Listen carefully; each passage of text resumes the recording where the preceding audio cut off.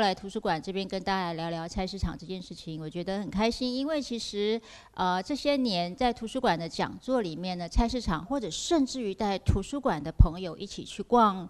啊，菜市场啊，在台北市的大龙市场，就是我也带过大龙分馆，然后跟大家一起去逛菜市场，然后逛完菜市场再回到图书馆进行讲座，就是怎么样的一个跟菜市场有关的一个规划，其实我这边一直都啊有一些想法跟经验。那今天我会跟大家聊聊，就是嗯这几年我在推菜市场的文学课哦，所有跟菜市场跟渔港有关的一个我这些年的一些生活经验，我都在这里分享给大家。我在台湾很多的地方，不管是在城市、在山里面、在海边，哦，很多的学校会演讲。那我会问很多的小朋友、很多的青少年：你最喜欢吃的是什么鱼？你不管我是在城市，我还是我在海边，还是我在呃盆地，我在任何的地方问小朋友最爱吃的鱼哦，第一名通常是鲑鲑鱼，第二名通常是鳕鱼，好。我们是在一个呃渔获非常的丰富，然后从北到南一连串啪啪啪到东部到西部，无数的大大小小的渔港，还有地各地区渔会所串联的一个地方。但是不论是在十年前，或者是在现在，问这些孩子，你最喜欢吃的鱼是什么？竟然是鲑鱼或者是鳕鱼。当然，孩子是没有选择的，或者是孩子是被教化的。但为什么呃小朋友最喜欢吃的鱼是跟台湾的海域都没有关系的鱼呢？啊，小朋友从小到大其实当然有很蛮多的呃大人的一个考量是鱼有刺，哦怕小朋友不管他现在是十岁还是他是五岁，那因为鱼有刺，所以我们就尽量用轮切的鱼没有，可是没有刺的鱼有土托鱼啊，台湾有很多没有刺的鱼，然后是轮切的，啊，但是那也通常也不会是我们要买给孩子的一个。首选哦，那让我们来想一想，到底面对呃吃鱼这件事情，小朋友吃鱼这件事情，嗯，有刺的时候该怎么办？像日本这样一个国家，他们的做法是不是我们从小教小孩怎么样吃鱼，怎么样安全的把一条秋刀鱼吃得干干净净？通常他们的一个习惯，他们的方式是这样子，但我们的方式是，我们就去用鲑鱼、鳕鱼这样子轮切的鱼去让小孩吃就好了。我们不会想要慢慢的去培养孩子、训练孩子，怎么样去认识一条鱼，怎么样去认识鱼，怎么样吃完整的鱼，怎么样去安全鱼，怎么样去享用一条新鲜美味的鱼哦。对，那所以这件事情对我来说，它其实是不不应该的，因为一个海岛国家的孩子，他应该要呃，对于他是很幸福的，他可以享用这么多很棒的一个海鲜跟河鲜。啊，每一天会出现的菜有可能不一样，对不对？或者至少每个季节是不同的。菜市场每一天都在变化，它的内容每天都不同。所以，如果我们在想要带呃学生或者带孩子去逛市场的时候，我第一个会跟老师分享的就是，嗯，首先你必须要能够认识菜市场至少百分之八十的的食材。他们的特色，他们应该在什么样的节气出现？你可能能够判断它是进口的还是国产的。比如说，国产的洋葱跟进口的洋葱，它就是不同的。因为我们带孩子去市场，不是这个是莴苣，这个是丝瓜，不会这样子。我们其实还会跟他谈，就是它可能是苹果丝瓜，它是传统的丝瓜，它为什么是呃嗯阿里山嘉义的丝瓜比较好吃？就是有很多的东西，它其实跟产地、跟季节、跟品种。都有关系，所以其实，在进行这整套课，还有就是我们要怎么样去跟摊贩、跟商家事先做沟通。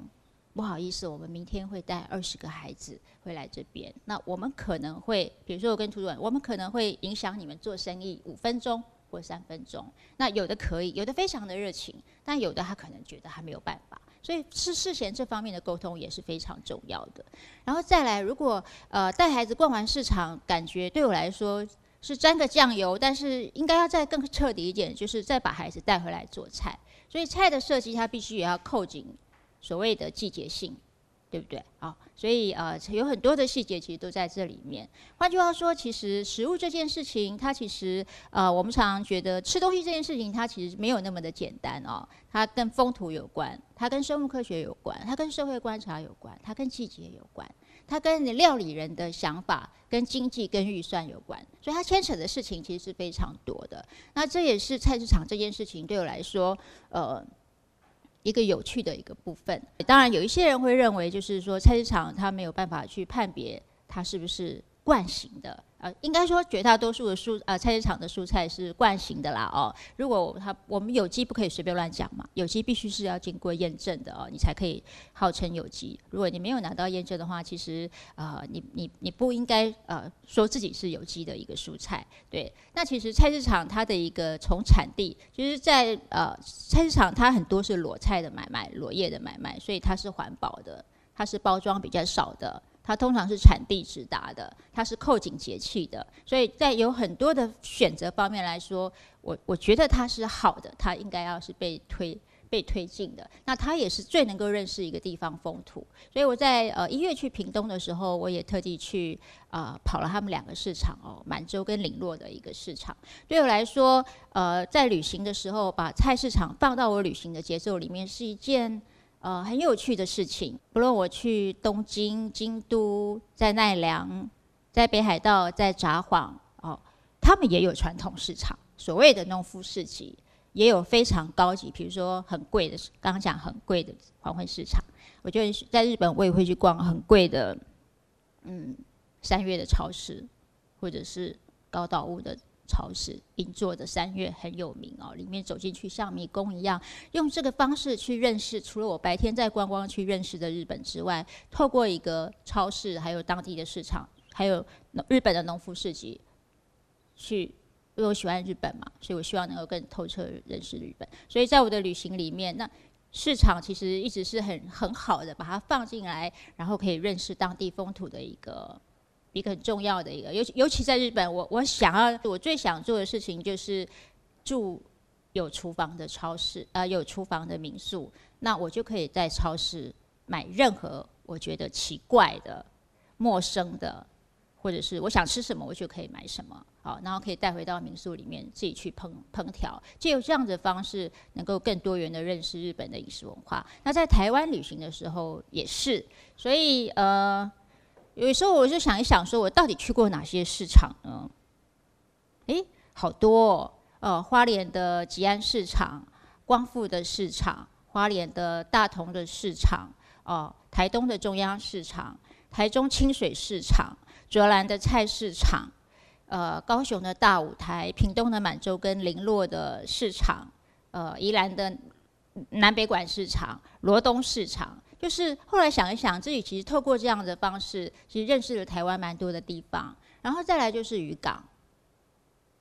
渔港常跟鱼市场是连接在一起的。那渔港的话，呃，我其实非常喜欢青昆生，它是一个很小的渔港，但它，哎，就是充满了那种台湾的传统渔村的那一种那种氛围，一直都在那里，然后又整理的非常的干净。哦，保有时代的传统的氛围又那么的干净，各位其实要了解到，我们其实进入到这个人类有史以来烹饪这件事情是最繁花盛开的年代。妈妈都很爱问说：“你给阿里煮啥？会不会？”你只要打电话给他，大概也不知道要讲什么啦哈。反正他就是很好奇，他就常问：“阿你给阿煮啥？”哦，我给阿里的，我给阿里煮迄个咖喱。好，或者是我家里有婴儿某应该我没讲迄个寿喜烧，就是会讲很多除了小时候他常常做的菜，那我也会跟他说我今天做了什么。那一开始他的反应都是有一点，呵呵，就是呃，我觉得他那是一种，你怎么会比的会的比我还多？好，那呃，这是时代的眼泪啊，就是我后来可以理解。那后来我就会想说，其实我们这一代做饭人、料理人的幸福，我们其实自己是没有察觉的。因为，呃，小时候我都要陪我妈妈去市场买菜。你一定知道，小时候买菜没有别的选择，就是走路去菜市场买菜，就是提着菜篮。好，到晚近，后来晚一点，你可能会推着菜篮车。每个妈妈一定会叫小孩子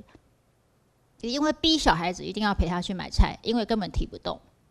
然后妈妈要拿的都是五天七天的份。妈妈从来没有活在一个用电脑键盘就有蔬菜跟肉可以送来家里的时代，对不对？好，第一，然后第二就是，嗯，所以妈妈买做的菜不会，你可以上网买到北海道球龟，可以买到干贝。可以买到云漳牧场台湾的牛肉，你在上网，你可以买到任何好的食材、新鲜的食材、有趣的食材。但是在过去妈妈的年代是没有的，她能够有食材，就是在家里附近的菜市场能够买到的食材，对不对？第三，所有的食材不知道怎么煮没有关系，你只要有基础的一个厨艺，你在网络上都可以找到很多的影片跟资料来告诉你这个东西可以怎么做。这就是为什么我们的餐桌变得这么的缤纷，这么的多元，然后完完全是我的母亲没有办法想象的一个烹饪的一个时代。所以我说，我们人类是进入到一个在烹饪的时候是一个百花盛开的一个年代，也是人类最不喜欢煮饭的年代，最少煮饭的年代，最常外食的年代，以至于烹饪成为一种疗愈的事情，而不是日常。日复一日不断的重复的一个事情。不过做菜这件事情哈，我觉得它真的是蛮辛苦的，因为它不是在厨房做半小时、四十分钟就解决的事情。它其实是从买菜就开始了，到你备料，到你进厨房，到你收厨余，到最后的洗琉璃台、厨房的地势师的这一整套，全部都是做菜的东西。所以我先生以前还会讲说：“哎呀，你今你今天就随便煮煮就好了。”我就会翻白眼。然后就会跟他说，做菜没有随便煮煮这种事情。不不论做的是几道菜，做菜这件事情，所有的那些程序都是固定在那里的，对。但呃，所以我就试图的希望自己能够用一种呃一种旅行，或者我今天想要去挖宝的一个心情走入菜市场。最重要的是，我想要认识我自己的国家，想要认识我自己的这一方土地里面，它会生产出哪一些东西。然后让我们能够得到营养，得到健康。同时，我也希望透过这样子的一个方式，我希望可以好好的认识台湾的农村跟台湾的渔村。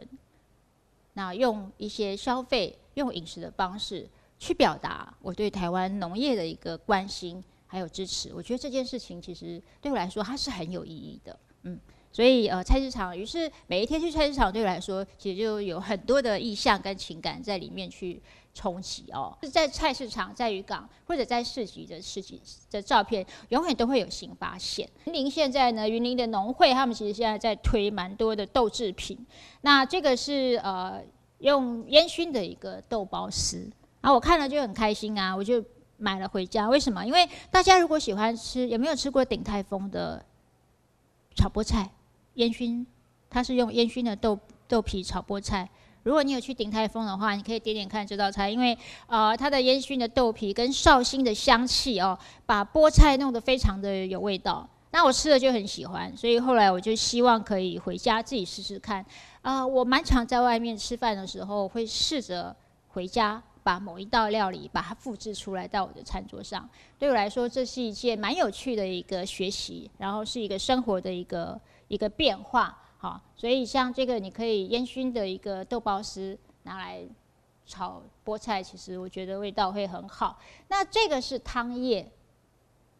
啊，昨天看到买到这个汤叶的时候，我是很开心，因为呃它可以冷冻哦，你可以看到它小小。为什么呢？因为我上礼拜在台中第六市场的时候，呃，吃到一个很特别的一个小点心，其实它就是这个汤叶。把它卷起来，它很薄，汤叶非常非常的薄，像一张纸一样。里面卷的是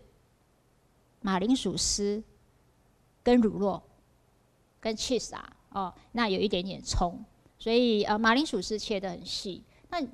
然后马铃薯它有先炒过，我有问呃帮我做这道料理那个小姐，我说你马铃薯是因为马铃薯不容易熟啊，可是豆汤也很薄，它很酥脆，口感很好，里面的 cheese 就是我们家小朋友就是最喜欢啊有 cheese 的料理。那我就说你这个马铃薯你是要先蒸熟还是怎么样？他说没有，他先把它炒熟，有做调味，然后把乳酪放进去，啊放放一点葱，然后卷起来卷卷卷，然后稍微煎一下，听起来是不是很美味？虽然没有肉，但是它其实鲜味哦，那个鲜味，马铃薯呃，乳酪的鲜味啊，乳酪的鲜味跟马铃薯是哎，其实搭的非常的好，所以我就开始就想说，我怎么样可以买到汤叶，很容易买到汤叶，就所以在市集，你只要像老鹰一样啊，像老鹰在找猎物一样。每一天的市场其实都会有新东西让你发现的，差别只是你有没有像老鹰的眼睛一样一摊一摊去看。好，好，我就看到了糖叶，就超兴奋，就决定这几天回家要开始做那道试试看那个料理哦。那这个是这个是这几天在菜市场的一个探险的时候所发现的一个东西。好，这个是呃屏东呢一个很有名的大花农场，不晓得这里有朋友去过。那呃，我其实一直很想去大花农场，但一直也还没有机会去。昨天在市集的时候，他们从屏东跑来摆摊哦，然后我经过的时候，其实呃，我一看到这么大的玫瑰花，我就知道这个可能是大花农场吧，因为台湾种使用玫瑰的农夫很少，嗯。然后经过的时候，呃，小姐就说这朵玫瑰花送我，然后。我就很喜，我很开心，因为我非常喜欢玫瑰，而且我大概我心里已经知道这一定是使用玫瑰。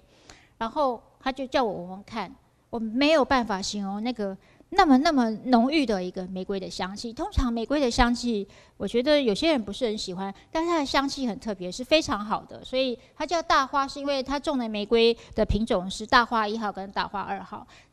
那个香气因为太浓郁太好，所以我就停了下来，我就被吸引了。而且他说这一朵要送我，完全都是可以吃的，嗯。然后就大概稍微了解了一下，我就跟他们说，呃，因为他的玫瑰园是呃免费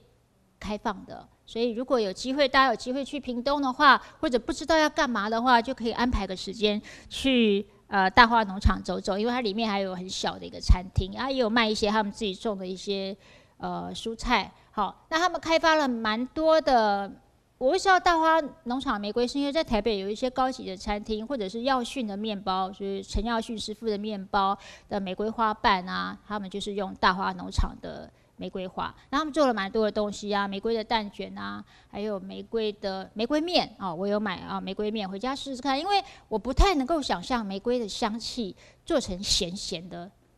面到底是什么味道。我很想试试看哦，所以我也买了它的玫瑰面。那其实最让我特别的是这个玫瑰花果酱哦。那呃，他本来要我试吃，我不想试吃，因为我不是一个喜欢试吃的人，对。但是他就蛮坚持。那我因为那些阿姨人真的非常好，那些姐姐人真的很好，所以后来我就好，我就试一个味道。试了味道之后，我就整个真的是愣住了。那我就说，因为。那个味道太特别，然后它的那个特别是好的，玫瑰的香气很浓郁，然后整罐果酱不是都糊糊的吗？它几乎没有糊状，它几乎是固状，所以它是非常非常扎实的。可是玫瑰是很贵的，我我就看了一下，这一罐才卖三百五。各位，现在果酱很贵是吗？现在只要是台湾的果酱都不便宜。我想说，啊，这么扎实的果酱，味道这么的浓郁，风味这么好，才卖三百五。我马上就买了，我就会想象回家之后可以，它有没有可能去，就是想要回家怎么去用它，除了当抹面包呃之外，而且我就说这里面玫瑰的成分是多少？他说六十趴，哦，剩下四十趴是苹果跟柠檬，很好啊，所以它的味道是非常好的，所以呃。我就买了这个果酱，因为后来在跟旁边的朋友聊天，他才跟我说，呃，他之前有买，因为他也是试了之后非常惊讶，会有风味这么特殊又这么好的果酱。对，所以大家如果有去屏东呃旅行，可以切进去大花农场一下，然后看看他们有些什么样的东西哦。如果你喜欢果酱啊，当然这也可以做花花草茶，对不对？水果茶，在这里分享就是说，在市场。如果你有看到，你觉得非常陌生，或许对你来说，这反而是一个今天市场最有价值的事，就是我终于看到，除了地瓜叶、跟莴苣、跟高丽菜有不同的东西在我面前啊！你买了，那进菜的摊贩就会被鼓励到哦，原来这种，原来我有时候可以进一些这种特殊的东西，客人是会买的，客人是会想尝试的。那你就不会逛市场无聊，你才会有机会看到越来越多不一样的东西。阅读它是很珍贵的，嗯，像我的妈妈不认识字，我我就更能够有体会，因为嗯，因为她不认，嗯，因为她不认识字，因为小时候我的外婆很小，她很早就过世了，那她是深山里面的小女孩，所以她必须要做照顾家里的爸爸啊这些事情，所以她没有念书。这几个月出的一本。沙茶的书，不晓得各位朋友知不知道？其实，呃，沙茶跟高雄有非常深的一个渊源的关系。就是我们台湾为什么会有沙茶？沙茶是从哪里来的？早先有蛮多的移民，其实是在东南亚的移民。哦，那沙茶跟沙爹的音其实是方是接近的沙啊。然后回到中国之后，他们根据自己的饮食习惯做了一些调整。然后后来就变成沙茶这样子的一个风味，然后再后来呢，他们到了台湾落脚到高雄之后，开始有人做沙茶，然后一步一步，现在我们都知道牛头牌沙茶酱，对不对？还有高雄有很多的有名的沙茶的老店哦，嗯，有一家叫全城，是不是？啊？是不是？因为我家里冰箱还有全城的沙茶酱。我先生买的哦，对，所以呃，那台北有台北沙茶的风味，台北也有台新竹也有新竹有名的沙茶的一个风味哦，所以呃，这本书我觉得非常有趣，他在爬书的就是战后呃潮汕的移民跟台湾饮食变迁，在告诉我们沙茶的故事。那我我这本书我觉得很好看哦，几个小时我就把它看完了，是一个学者的一个论文，虽然是论文，不过呃就是很生活化哦，很亲切。所以我就常常想，哎，我的小孩这么喜欢吃沙茶，但是真的我们很少去了解到饮食背后有这样子的一个移民的故事。然后牛头牌沙茶酱是怎么起来的，非常的有趣。那在这本书之外呢，其实沙茶本身有非常多的新香料，所以呃，他呃艾琳老师这一本新香料风味学，呃，也是我个人觉得，如果各位想要开始进入香料的世界的话，这是一本很棒的一个呃入门书。然后里面也有很多很棒的艾琳老师的一个。私房的一个食谱哦，啊，我觉得这本书我自己很喜欢，搭着沙茶一起看章鱼的心智演化。那这本书它是一个什么样的书呢？嗯，它事实上我们都知道，大家可能对章鱼哥有没有印象？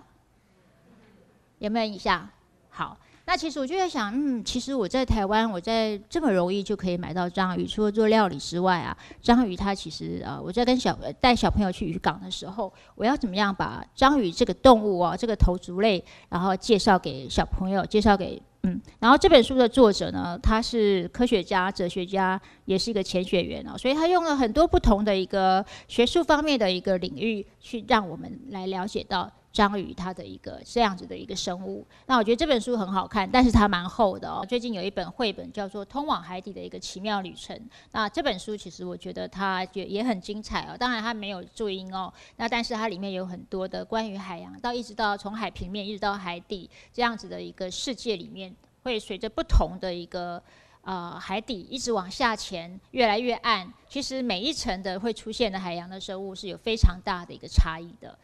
那这本书也是我想要介绍给大家。然后再来呢，其实，在市场的时候，呃，在跟备课、菜场文学课或渔港文学课的时候，呃，其实鸡这件事情，鸡肉这件事情是很重要的。台湾人是一个非常爱吃鸡肉的民族，尤其现在是不是很流行什么 DGI 吗？生酮吗？是不是要吃酥肥鸡胸？哦，我们的小孩是不是觉得吃，大家觉得吃咸酥鸡很疗愈？然后我们家小的这辈子，因为念了大学，去外面住宿舍之后，回来还会跟我说：“妈妈，盐水鸡是什么东西？盐水鸡好好吃哦。”哦，我们台湾一年大概吃掉，根据等我会公布的数字，去年应该是吃掉六亿只鸡。但我们对鸡的认识，感觉或者是小朋友对鸡的认识，其实是很少的哦。这一本书《鸡冠天下》，呃，图书馆应该。应该借得到哦。这个应该是去年还是前年出版的。这个呃记者呢，他其实把整个鸡从一开始的人类开始养鸡，从野的鸡到人类开始从鸡的缘起，然后一直到现在啊，所谓的鸡的一个认识、历史文化的爬书，这本书我觉得非常的有趣。好，我就说我们对这个这样子的一个生物的认识其实是很少的。那《鸡冠天下》是一个蛮深度的一个，我但是书写的方式蛮轻松有趣，我想要介绍给大家的。好，那我自己在认识台湾的渔业这一块呢，我其实当然我对于全世界的远洋渔业，呃，我也花了一点时间去认识。所以，嗯，这是去年出版的书，叫《罪行海洋》，它其实在探讨的是全世界的一个远洋渔业里面，呃，所谓的呃非常呃。黑暗的一些内幕哦，全世界有超过五千六百万人每一天在渔船上工作。我为什么要认识他？因为我们都吃鱼啊。我想要知道为我抓鱼的人他发生什么事，他过得好不好？他会不会因为要抓鱼给我吃，结果他过得很痛苦，然后我吃得很开心？有没有可能？我很想知道啊，他可不可以过得好一点？如果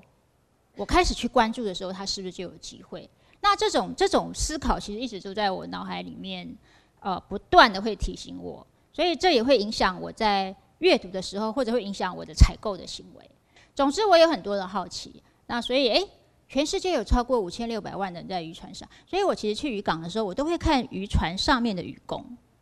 就看他们稍微看一下他们的生活。然后，如果我在买东西，是渔工在帮我杀沙林什么的，有时候也会跟他们聊聊，希望他们觉得温暖。希望他们觉得在很很辛苦的一个外籍渔工的一个船上的生活里面，呃，至少当他靠岸，靠岸也不能休息啊，靠岸他就是要帮老板帮我们这些人杀鱼或者去鳞。那希望我们透过一些互动，可以让他感觉到我们的善意。嗯，好，所以《最新海洋》这本书里面，其实他在告诉我们，我们在吃的这一些呃远洋的鱼啊，比如说鳕鱼。啊，这些船上到底发生了一些什么样的一个事情？要去采访这样的书是非常困难的，表示这个记者真的是经常是冒着生命的危险，因为他还跟着船嘛，到处跑来跑去，里面充满了黑道，充满了凶杀，他可以随时在，你知道在海上，你随时被一个人丢到海里，推到海里，随便一个渔工，一年有多少渔工这样子死掉？然后他们在船上是跟。包括这个记者在床上都跟老鼠、蟑螂一起睡觉，因为渔工的生活就是这样。那嗯，所以这个时候就会开始去思考说，所以我在选择鱼的时候，是不是尽可能的以近海的选择为主？因为台湾的渔港这么多，都是渔船、小渔船出去半天就回来的，有这么多的好的鱼可以选择。或者我在选择远洋渔业的时候，现在有没有什么样的标章？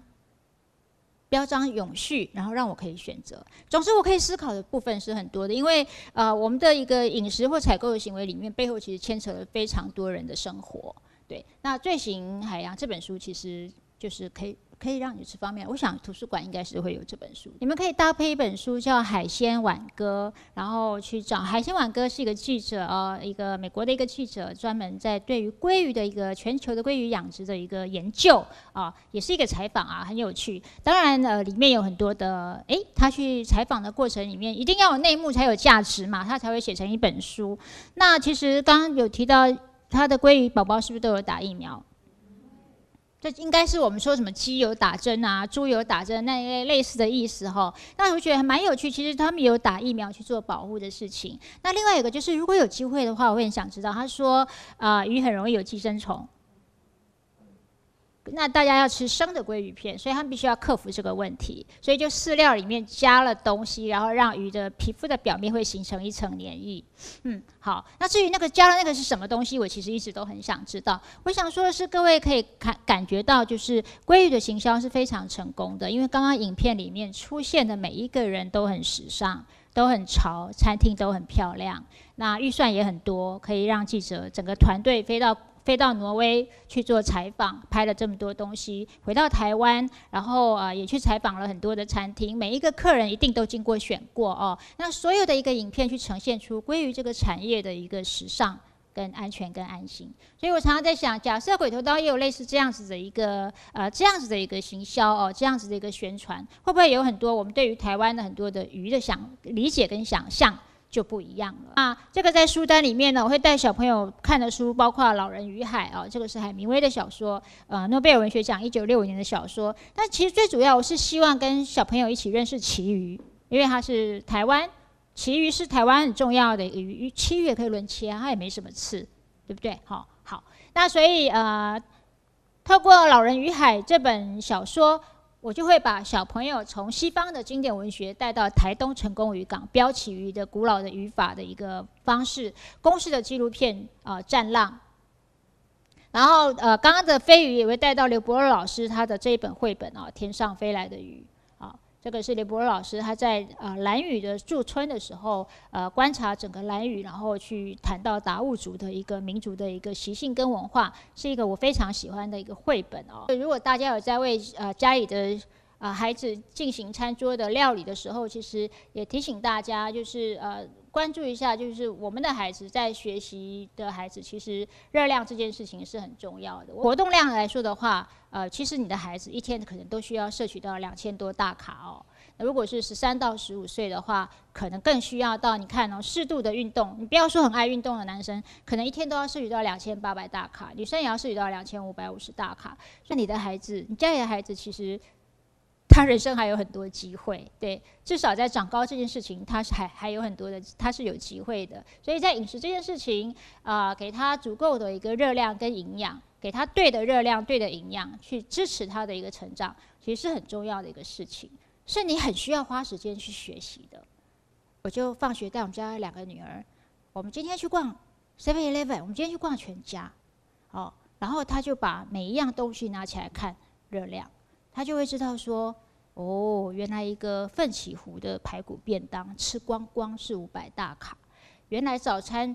呃，买一罐奶奶全脂的鲜奶是一百二十大卡，再买一个御饭团，御饭团通常是八十大卡，所以我的小孩就会知道说，原来他吃了牛奶跟御饭团。也不过两百大卡，但他今天要两千大卡。他的三餐里面，第一餐只有两百大卡，他后面还有一千八百大卡要要赶。但是吃完一个奋起湖便当，竟然只有五百大卡。所以啊，你通过这样方式，你才会知道跟小孩一起去讨论说，所以我们的三餐加点心，你要怎么样的调配，你才会呃足以去支撑你的成长。所以其实呃，这个是一种，就是你背后要有一些啊知基础的尝试跟知识去做调配。那我就是用这样的方式去在我的孩子在小学、国中、高中阶段啊，跟他们去讨论饮食三餐啊，可以怎么样的去配置，还效果还不错。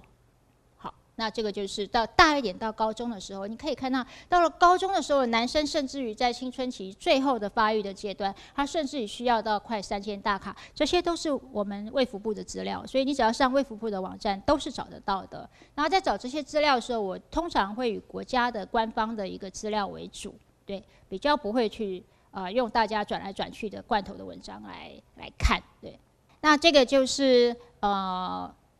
带鹿野国小的小朋友去他们当地的菜市场，对，那因为在鹿野国小，那那个时候我就跟校长讨论嘛，因为要设计菜单，所以带他们去鹿野市场。那我本来想说，哇，在这种呃一个种很多蔬菜的一个地方的小朋友，应该对菜市场很了解吧？我错了，小孩朋友对于呃厨房对食材的不了解，从城市到乡村。从山上到海边是一样的哦。我们当天要选的食材很多，好，我就跟校长讨论，就是说要设计哪一些菜哦。我在每一个地方带小朋友做菜的菜单的设计都是不同的。好，我决定让这边的小朋友，小朋友喜欢吃的东西是要下饭的，所以我觉得蚂蚁上树会他们会很喜欢。透过蚂蚁上树，我希望跟小朋友谈的是食品加工，因为冬粉是绿豆的加工。哦。所以我希望跟小小不露野的小朋友跟他们谈，你们台东有一个养殖的呃鱼温的一个养殖靠海养殖的产业，你们养了很多的白虾，而且很有名，所以我希望带他们去认识家乡的养殖，所以我设计了一个虾子。但是虾子要怎么做呢？所以我想要用红茶啊，用他们的茶汤入菜。我也想要顺便刚好告诉他们，这样子的一个概念是来自于很有名的江浙菜，叫龙井虾仁。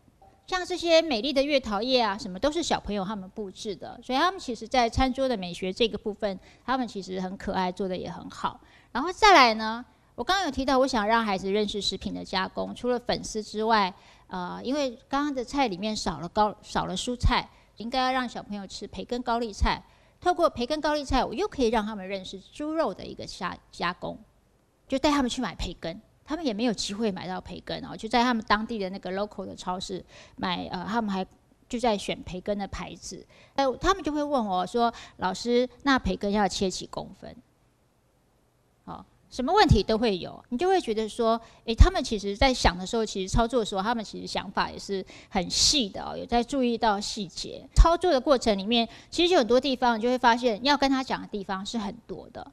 那个铲子真的是很重啊，真的真的超级无敌重的。但是小朋友非常喜欢能够动手，有机会做这些事情。然后你看这个过程里面还要告诉他们，你冬粉要先泡水，然后下锅之前你要先剪一下，不然它就会整坨粘在一起哦。就有很多的细节，然后告诉他们，其实豆瓣酱啊要先跟猪肉一起炒香，然后最后你才会下冬粉啊，这样子的一个过程。最后，我们就是哎，大家就一起共餐，大家就可以看到，其实，在设计菜单的时候，我就希望他们啊，除了认识食品加工，他们也才知道说，哦，原来，然后校长也知道说，嗯，原来我们要可以跟小朋友要多介绍，我们台东有很多的产业，不管是养殖的产业，其实是我们他们过去没有去告诉小朋友的。好，就是设计这些菜，其实有很多的考量在里面。那这个就是呃，我们从路野的市场，然后再回到学校的现场，我们开始一起来做菜的一个很棒的一个回忆。关于在海洋的渔获这五个部分，因为海洋的资源其实越来越珍贵哦。那呃，我自己个人在看的时候，其实第一就是我们在嗯，所以我才说，如果我们能够多选择近海的渔业，会是一个比较呃。呃，比较环保、比较永续的选择，也就是在我们台湾的海域。第二个，其实就是呃，我们尽量不要去满足自己所谓吃到饱的这样子的一个饮食的一个消费的一个方式。第三，其实呃，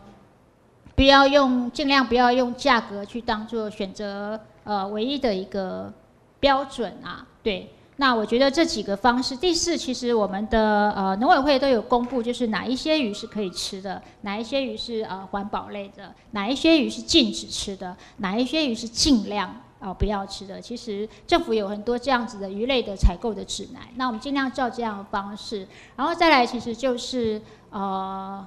嗯。真的，我们不需要吃很多很多东西。我常常常常就会觉得，我们真的不需要吃那么那么多的东西。我们每天就是大概三餐一点点心，然后吃少一点，吃好一点，吃环保一点，然后这样这样是很重要的。对，那像很多的鱼太小的，我们尽量就。呃，虽然你没有去买它，它最后还是会成为鱼的下杂啦，它还是会成为下杂或者成为罐头。但至少就是说，我们自己在源头要知道哪一些鱼，其实我们尽量的不要去吃它。那我觉得这方面的其实的报道其实还蛮多的，然后尽量让自己去具备这样子的一个尝试。